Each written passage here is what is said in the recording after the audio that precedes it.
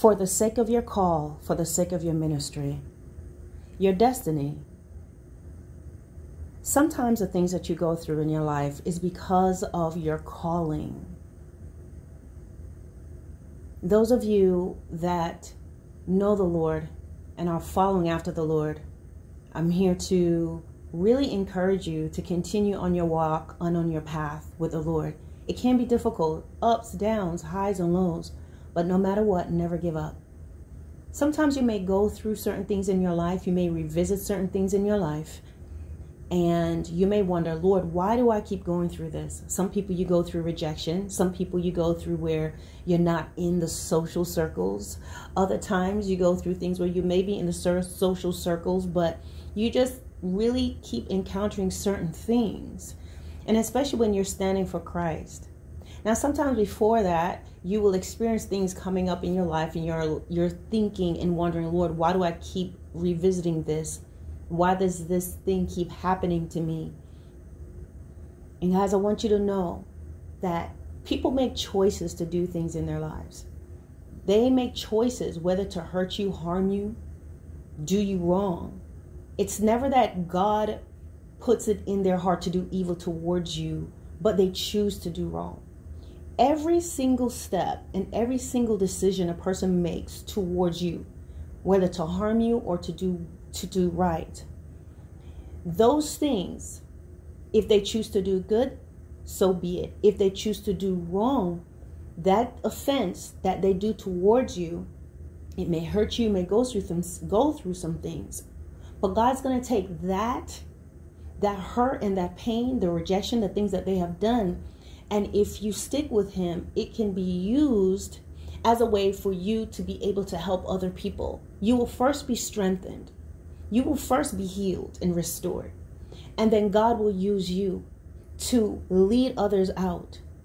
You see, Moses had a situation, he had some devastating things that occurred in his life, and he ended up being sent away by his mother to save his life. And he was raised in the house of Egypt. And at some point, he was sent away. Another situation happened where he ended up taking someone's life that was picking on and abusing an Hebrew slave. And so he ended up running away and he went away for a while.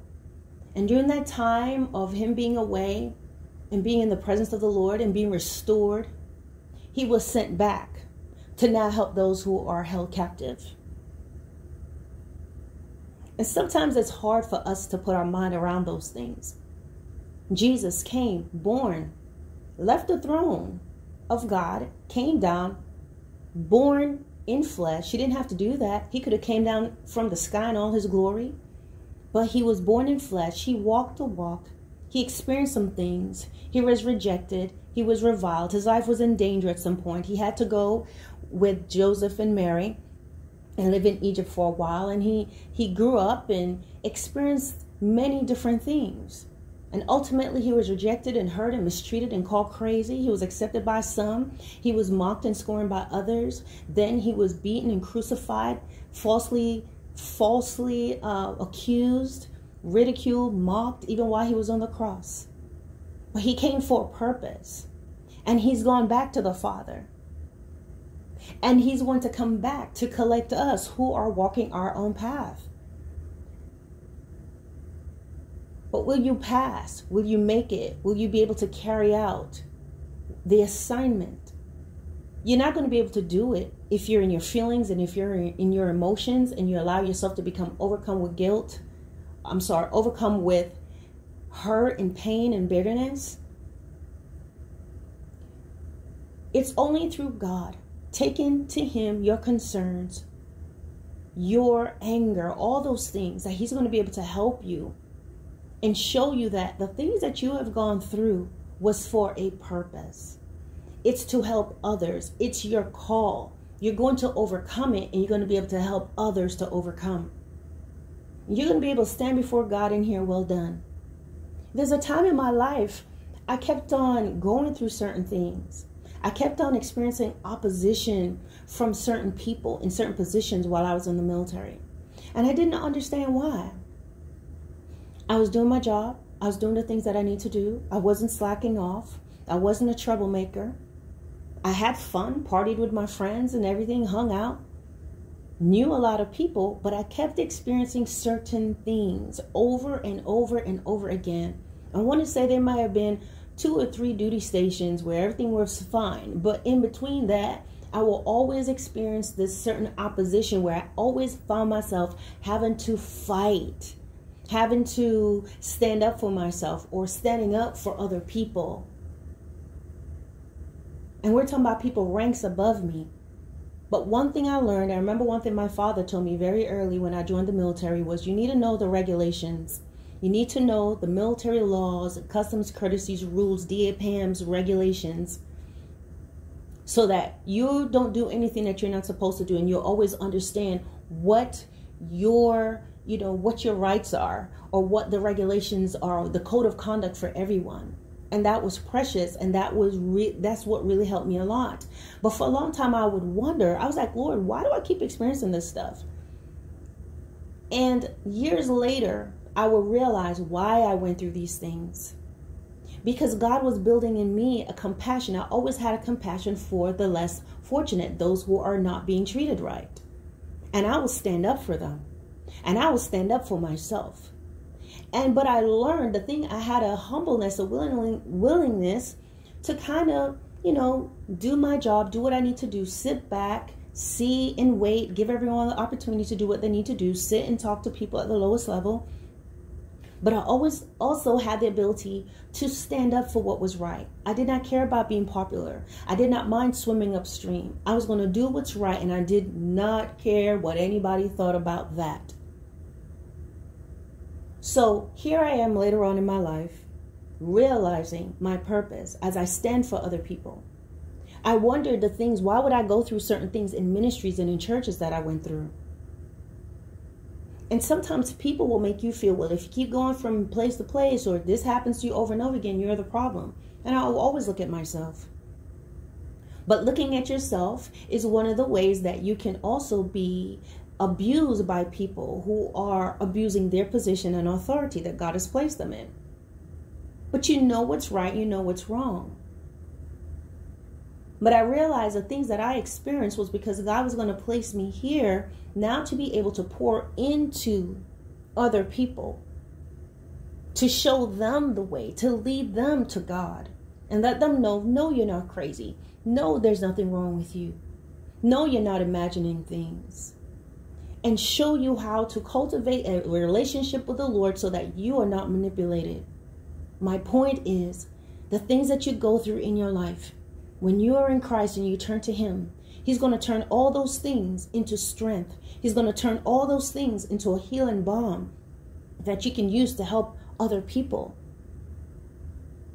How unfair would it seem that Jesus would have been brought, would, have been sent to this earth to be ridiculed and to be beaten and crucified, but yet he served a greater purpose because we should not allow ourselves to focus on things that's going on in the natural, even though to some degree it matters. But think about the end, the reality, the eternity. I am not telling you that God sends people to come into your life and abuse you. An abuser has a has an opportunity, has the choice to do it or not to do it. A person who cheats on you and uses you, they have the choice to do it or not do it. A person that lies on you and berates you, they have a choice to do it or not do it. And in that instance, before they do it, there is a feeling like they shouldn't. The parent that abuses you, the sibling that abuses you, they have a choice to do it or not. And their choice, God will hold them accountable for it. But whatever they do, the offense, now we have a choice to either hold on to it and let it ruin us or let God use that and show us how to walk through that and how to overcome. What pain and hurt and rejection and lies they throw your way, God is going to turn that around. You're not going to be buried, but you can bury yourself.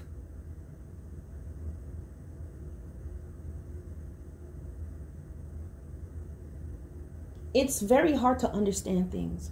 And the deeper your pain, the darker your past, the darker your experiences, the more it is imperative that you know God because when you do that, He will show you everything. He will show you the whys, the hows. He will let you see so many things that you're never going to get just sitting there and trying to get answers in the natural. This walk in Christ, you're not going to be able to do it in your own feelings and by your own strength and by, you know, um, what's the word? Just willpower alone, mind over matter alone, that's not going to help you because it's a spiritual thing. The devil wants us not to make it into heaven and to enter into the kingdom of God. We cannot do it without Jesus, who says in John 14, I am the way, the truth, and the life. No one comes to the Father but by me. It's only through his strength, through John 14 and 16, that tells us that the Holy Spirit is come to strengthen us and to guide us and to lead us into all truth. He will help us to do the things that we cannot do in our flesh.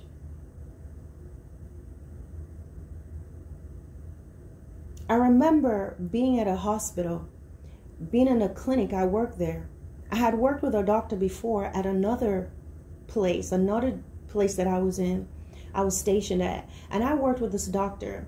We were very close. He was the chief of the clinic and I was the overseer of the entire clinic. And we worked together, we did things together, never slacked off on my job, always did things above board. But then I go to this other place, and they de- decided to come up with a narrative about me that was not true. And it was so sad to see how people were able to disparage me just by someone saying something I still continue to hold my, hold my head up high and do what I need to do and carry myself in the authority and the position that I'm supposed to have. But it was disheartening one day to see when they had a conference with all the doctors, the doctor that I had worked with all those years, built a rapport with, he saw me he could not have not seen me because I was one of the I was the key person there along with the other surgeon who was heading up all these doctors that had come from all over the place. He saw me and he walked right by me. He walked right by me as if he hadn't seen me. And it didn't dawn on me because we had built such rapport. I had done nothing wrong, but I went and I saw him and I was like, hey sir and i was talking to him but i could see as he was speaking to me he was so distant. He was just trying to just hurry up and finish talking to me. And i was like wow and then it dawned on me what was going on. Because when he came he would have to have met with certain people who was already demonizing me. Let's put it like that now, thank God I kept my head high. I kept doing the things that I need to do. I humbled myself to the Lord because I'm a natural fighter. I'm a letter writer. I'm that person that's going to go toe to toe and do what I need to do, you know, knowing my rights. But the Lord had told me to humble myself. Don't worry about it, Arlene. Do the things that you need to do. Okay, I know that's well below what you're supposed to be doing, but I want you to do that. And when I did those things, sometime later, the highest person on the very top of the command group, let's just put it like that, called me in his office, sat me down and spoke to me, gave me his ear, let me sit in that office and called in all my accusers and said, Tell me what you've told me about her. And you should have seen the shock in their face because they had lied on me. And so I was vindicated in the end. And a lot of those people that made up those lies, I was able to see them, see a lot of things happen to them. A lot of them got demoted. Some of them got sat down. They got caught up in different scandals. What is my point? The things that I went through, I didn't understand. But I also have to see where God saved me out of all of them. My enemies, those who try to destroy me because I stood up for what was right, for I dared to follow the regulations, for I dared not go along with them to destroy someone else because I spoke up for someone they were picking on. The Lord vindicated me out of that. But then it was because of my destiny where He was going to take me for my walk with Him. And in addition, it shows us something that in the end, those who falsely accuse you, you'll be standing there next to your heavenly Father, and your accusers will be ashamed because they'll have to face themselves. So I just want to encourage you to stay the course. It's okay that you feel frustrated sometimes. It's okay to express what you feel. Some days you don't want to do anything, but don't stay there and keep the lines of communication open with your Father. The things that you go through is for your purpose. The people that you lose along the way is for your purpose. As you grow closer and closer with God, your relationships, people are going to start to fall away because they can't go higher with you. Jesus had a large mob of people around him all the time, lots of disciples. But at some point, all those people fell away from him because as he got higher and higher and he began to share deeper and deeper things, they could not understand it. So they turned away from him. They thought that he was crazy. They thought that he he was just he was the cannibal or something. And or he was promoting cannibalism. So he was left with 12. And even out of that 12, there was ones who still, one betrayed him, another denied him at some point, but came right back around. They went through their highs and their lows. But what you're going to find is you're going to people are going to fall away from you as you grow closer to God. The people that were running the race along with you, you're going to begin to see that this person is not completely dedicated to God. You're going to begin getting to finally hear what they've been saying all along, but when your spiritual ears open up, you're going to realize this person is preaching a false gospel or they they they're they're trying to put in some greasy grace somewhere. You may lose family members. You may lose people who your your boyfriend, you guys, and girlfriends, and whoever, and you guys used to be the lukewarm believers, but when the Lord begins to open your eyes, you'll find there'll be conflict. Sometimes you're to lose your mom, you're to lose your dad, you're to lose your family, you're to lose your friends. But the Bible tells us in Matthew 19 and 29 that he who has lost mother, father, lands, home, cattle, brother, sister, children, husband, wives, for my sake shall inherit a hundredfold in the kingdom of heaven. Not everybody will lose their family, but some will. Some you have to leave because of the toxicity. Some you have to leave because they continue to break you down that you'll never be able to do the will of God. Some you had to leave because you're just so dependent on them. It's time for you to stand on your own. It's never always that it's a bad thing. And others you have to close the doors because they carry habits of generational destruction that you cannot allow to leak into your lineage. You may be sacrificing some things now. You may feel lonely right now.